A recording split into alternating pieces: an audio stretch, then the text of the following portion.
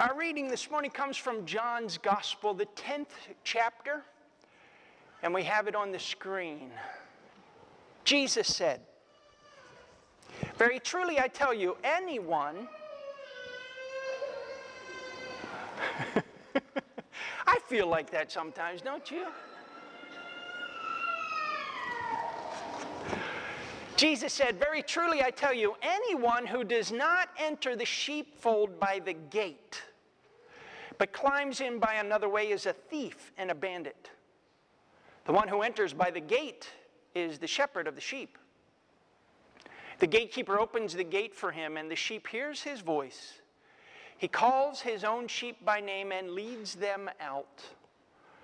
When he has brought out all his own, he goes ahead of them and the sheep follow him because they know his voice. They will not follow a stranger, but they will run from him because they do not know the voice of strangers.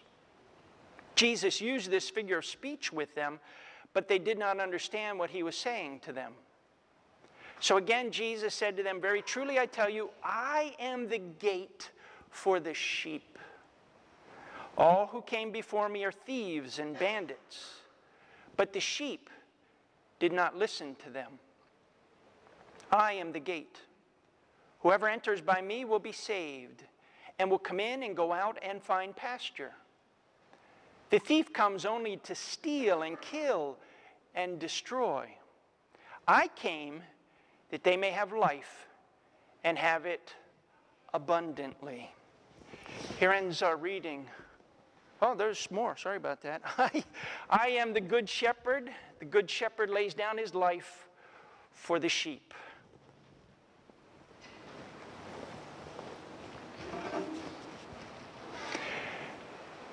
The sheep and shepherd image is a beautiful thing, isn't it? Sheep need a shepherd, and a shepherd needs sheep.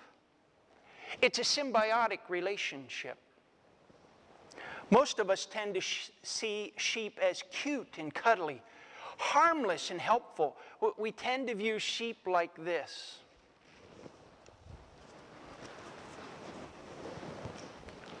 Can I have an aw?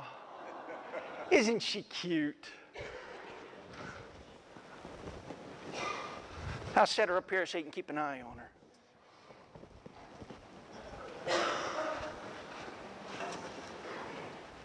I believe Jesus had something very special in mind when he uses the metaphor of sheep and a shepherd. Did you know that dogs were domesticated first before sheep and goats? Dogs make great companions. They're loyal through and through.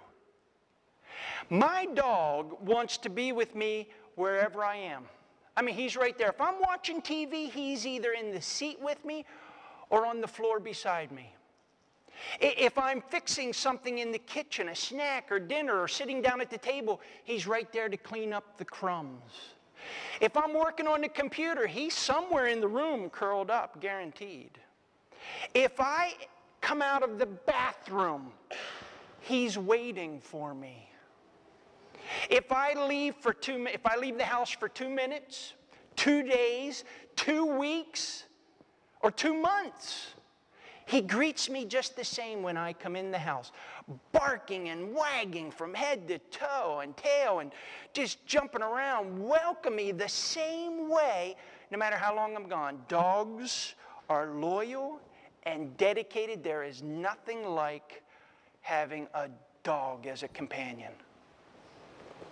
I wonder why Jesus uses the sheep and shepherd metaphor and not the dog and master metaphor. Maybe it's because sheep need a shepherd.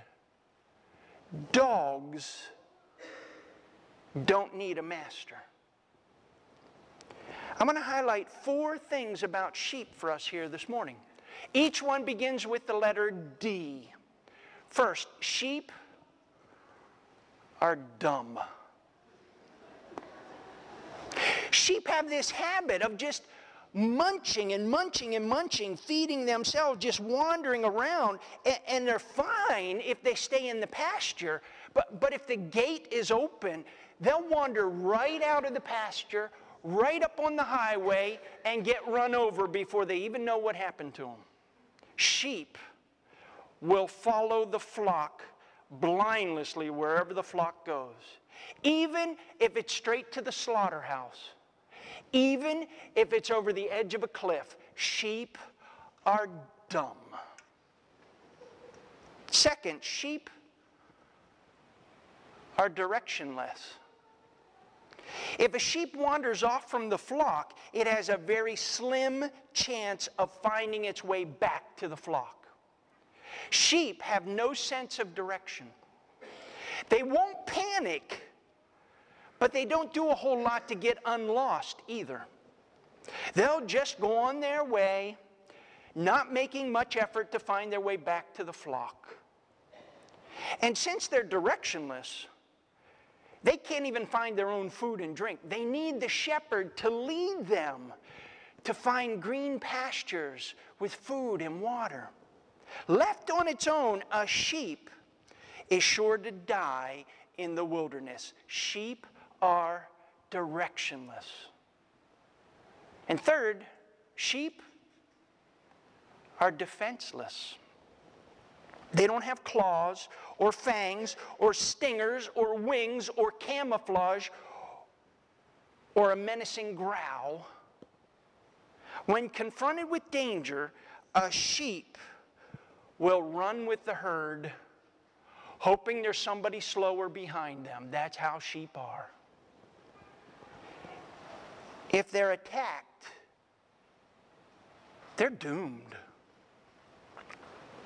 When sheep get particularly woolly, which they do, it, believe it or not, they have this tendency to fall over. And they can't right themselves up, kind of like a turtle. They need someone to help them stand upright again. Sheep are defenseless. So there you have it. Sheep are dumb, sheep are directionless, and sheep are defenseless. But there's one more thing about sheep. They have this remarkable talent to distinguish human voices. They even, as research shows, they can distinguish sheep's faces. They can distinguish the shepherd's face. Sheep are dependent. They are dependent on the flock and they're dependent on their shepherd for life. Jesus refers to us as sheep and he the shepherd.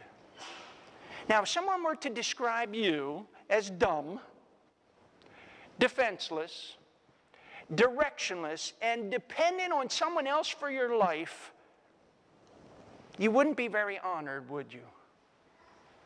I sure wouldn't. If we're honest and we think about it, Jesus' words are a little offensive here this morning, aren't they? I mean, who wants to be a sheep? Ask any child what animal they'd like to be. They'll probably say, I'd like to be a lion or a tiger or an eagle.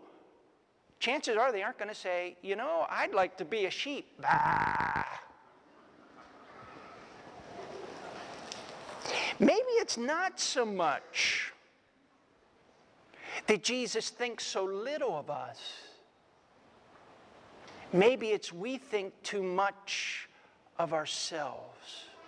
Now, just bear with me here for a minute. Self esteem is a beautiful thing. Parents, we should raise our children to be confident and competent in life. We need to celebrate our gifts and skills and abilities and the talents that God has given each one of us. But when it comes to navigating our way through life, many of us overestimate our abilities. I know I sure do. we're probably more like sheep than we care to admit. I know I sure am. I also think we underestimate the dangerous world in which we live. We live in a very dangerous world. It's a wilderness out there. It is not safe to try to go it alone on this journey called life. We face real temptations every day that want to entice us into the direction of disaster. And left on our own, we're doomed just like sheep. Why does Jesus call us sheep? That's what I want to know. Because the world is a dangerous wilderness.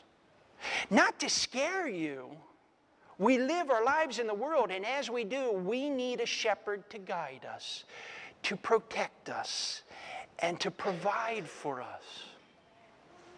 Wasn't it awesome to see our seven young people come up and make their confirmation this morning? A lot of what happened up here this morning was their idea. This is how they wanted it to go down here this morning. For some of them, in this spiritual journey here this morning, this is freedom, baby. They won't admit that. But man, they're so glad today is come and gone. Wow. Freedom! But in reality, what they're really saying here this morning is that they want to take a greater responsibility in their own faith development. And that means this is just the beginning. We celebrate with them in this major step as sheep within the fold, reminding them and us that too much freedom is not a good thing. Real faith maturity means being dependent on Jesus within the flock. Proverbs 3 sums it up very well. Listen to these words. It's a summation of Proverbs 3. Listen to these words Trust God from the bottom of your heart. Don't try to figure out everything on your own. Listen for God's voice in everything you do, everywhere you go. He is the one who will keep you on track.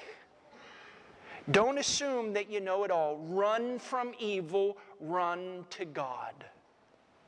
Those are great words for us to consider here this morning as sheep within the fold of Jesus' flock.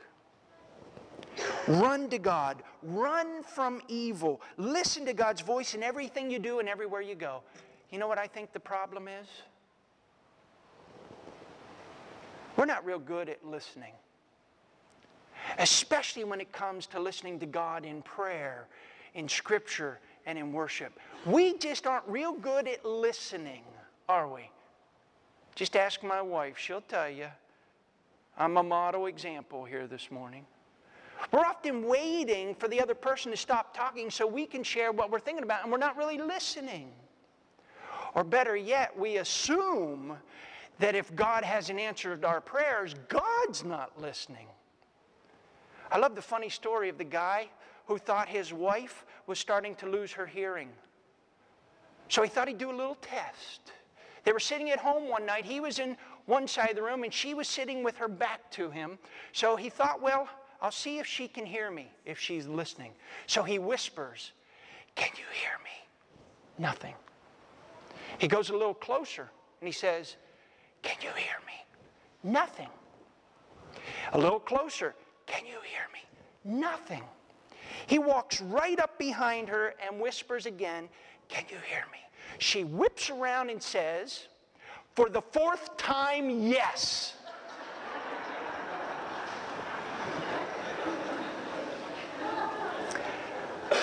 Folks, God is still speaking to you and to me in this place.